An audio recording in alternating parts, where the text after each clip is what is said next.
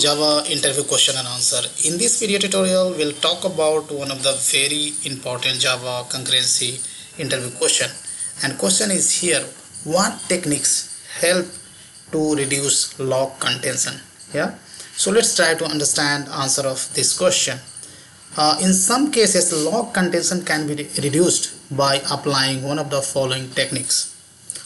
First, the scope of the lock is re reduced means uh, instead of synchronizing the entire method you can uh, you can make use of synchronized block right? So in that case you are going to reduce the uh, basically time duration for the lock and uh, uh, so that the lock will be released as soon as possible as soon as uh, execution of basically critical section is completed and other thread will acquire the lock and proceed for the further task. Yeah now next point the number of times a certain lock is acquired is reduced right? So uh, so for that we can have a very good concept is called lock splitting right?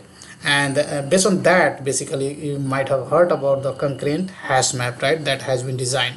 So instead of acquiring the single lock on the uh, one object uh, we can have a multiple lock. So and those locks can be applied on the different section of the uh, basically uh, the different section of the that object right? And that way you can uh, basically also get the thread safety. And based on that concept basically concurrent hash map is designed. Now next point says using hardware supported optimistic locking operation instead of synchronization.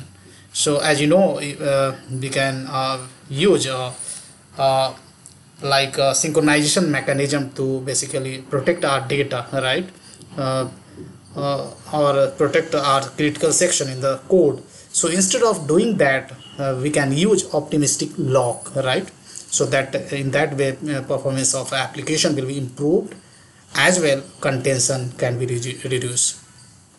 Now we can avoid uh, synchronization where possible.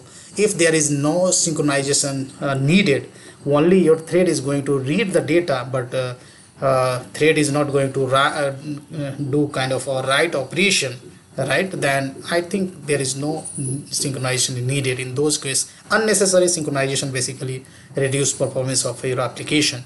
So we should avoid synchronization as as much as possible. And that way you are going to reduce the lock contention as well. Last but not the least you can make use of the Uh, you can make use of uh, basically uh, avoid using uh, object uh, pooling right? So when you use object pooling and you know object pooling has been designed based on the synchronization mechanism only. So if possible you can avoid object pooling so these are the basically uh, key points we have using this concept or these key points we can reduce thread uh, thread or lock contention in our application. So guys that's all i have in this video tutorial. I hope you enjoyed learning this video. If you really like this video then hit on the like button. If if you didn't subscribe kk java tutorials till yet then please go ahead and subscribe it. Want to learn java in much more detail? Then you can you can visit our website kkjavatutorials.com guys big thank you and see you there in the next video tutorial